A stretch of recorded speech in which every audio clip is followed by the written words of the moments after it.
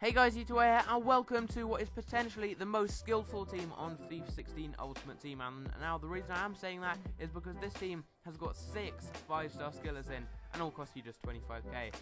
And uh, it's an awesome team. I believe it does have the most five-star skillers you can actually have in a team with every single player on 9 of 10 chemistry. This is actually a no links wasted team as well, which is pretty cool, without actually using uh, a legend. So you'd have to use, I think, Pele or JJ Okocha as a centre mid, so that would be very expensive.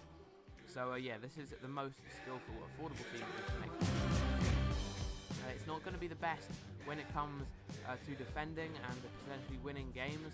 It's the 3-4-2-1 formation, which uh, is not the best defensively. I have got very attacking midfield, but if you like filming skill compilations or anything like that, and you need a team full of skillers, this is the perfect team for you. So starting off in goal, we have gone with Lopez. He's an awesome keeper on this game. Really good diving, great reflexes as well. He's not the tallest, but he'll make you some great uh, saves up close. Very, very good keeper, one of my favourites. Yeah. Moving into the defensive start in the left centre back position with Yanga-Mbiwa. Really, really nice stats there. He's got 76 pace, 79 defending, and 87 forward, 6 foot tall. He's also got some really nice work rates as well.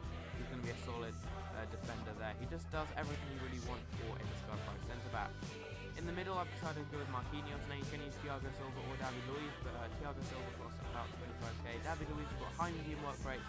He's the attacking midfielder in this team. I've decided to go with Marquinhos. He's a lot better defensively. He is going to stay back. And finishing off the defence, I've gone with Digao, who really is one of the best hidden gems on this game. 85 physical, 75 defending, 74 pace, 6 from 3, and he's also got good work rates and very, very strong. Moving into the midfield, we start off in the left mid position with Fidel Martinez. He has got 76 pace, 78 dribbling, and uh, yeah, generally just a really good player on the ball. He's very good at dribbling, uh, he's quick, uh, and combined with the 5 physicals and the high dribbling, he can be really good get the ball off. Not the best shooting or passing though, so I recommend passing off to someone uh, if they are going to have the shot. Moving into the centre midfield position, I've decided to start off in the left centre position here with Rafael Sobis. I think he had 5 star skills back on 2013, 2012 on the retro keepers. 4 star skills though now, and uh, yeah, he's a well-rounded centre mid.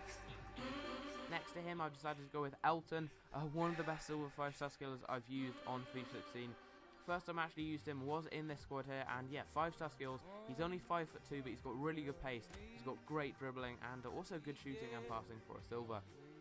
In the right mid position, we've decided to go with what is potentially my best or my favourite 5-star skiller on this game uh, for a silver player is Al-Dawsari, 90 pace, 72 shooting, which is actually really good for a silver player, and also 76 dribbling and 72 physical, so high physical and pace him very hard to get the ball off. Moving into the strike force, so the front three of this team, we start off with the silver Ronaldo in the left wing position, and uh, yeah, he's got 80 pace, 75 shooting, 71 passing, 75 physical, 77 dribbling. Amazing stats for him. He's got really high long shots and free kick stats as well. 5 star skills, and yeah, he's an absolute beast in this game. In the right wing position, I've decided to go with Kelvin, and uh, yeah, I've used him a lot recently uh, in some of my skill squad builders, and uh, if you haven't seen my latest skill compilation, I did score some really nice goals using Kelvin uh, in that video. And uh, yeah, 82 pace, 83 dribbling. I believe that's the highest for any silver player on this game. You really can tell that in game. He's got good physical as well, and combine that with the pace, uh, he's very hard to get the ball off. And we complete the team with Giuliano. I did convert him from a cam to a striker, and he plays very, very well there. 82 pace, 84 dribbling, 5 star skills yet again. He's the sixth 5 star skiller in the team. And uh, yeah, 76 shooting and 75 passing. Uh, really do kind of complement him playing as a striker.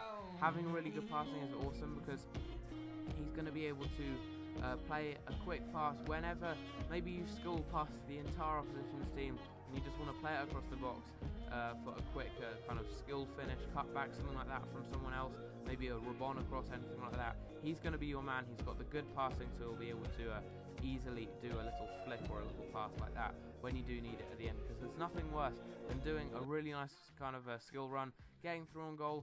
Maybe you take around the keeper, uh, do a fancy pass to someone, and you want them to finish into the back of the net, and he just messes up the pass. So that's really good.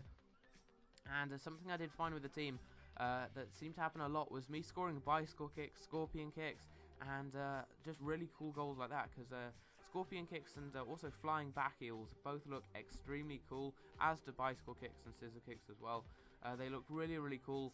And since you do have a right and left mid who are going to be swinging the ball in all the time, uh, you've also got the three players up front. So you've got Arroyo, Kelvin, and Giuliano.